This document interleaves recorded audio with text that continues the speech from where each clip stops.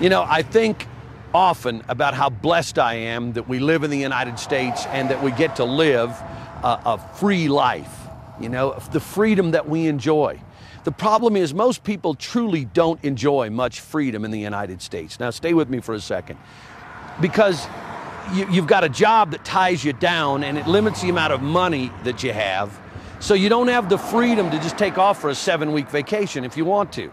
You don't have the freedom to decide on Wednesday that you're going to leave Thursday and be gone for a week to 10 days or however long you want to, you know, you want to go.